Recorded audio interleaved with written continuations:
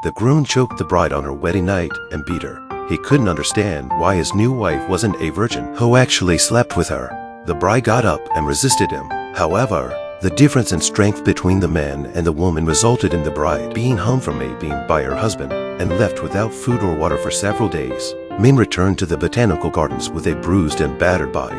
As the groom's father, Prof. Chen said, no matter what happens, he is still my son, and this marriage was a mistake to begin with. Min did want to stay at the Arboretum forever, but Min stayed not for her husband, but for his sister Anne. It's just that two girls in love in the 20th century isn't acceptable to everyone. That's why Anne gave me the idea.